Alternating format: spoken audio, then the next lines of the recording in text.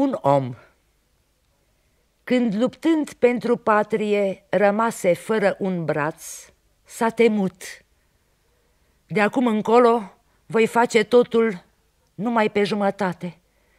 Voi culege numai jumătate din recoltele lumii, iar la pian voi cânta numai melodia sau numai acompaniamentul, nefiind întreg pentru întreaga partitură. Nu voi putea izbi decât cu un singur pumn în porțile vechi, îndărătnice, iar iubita nu se va lăsa îmbrățișată decât pe jumătate.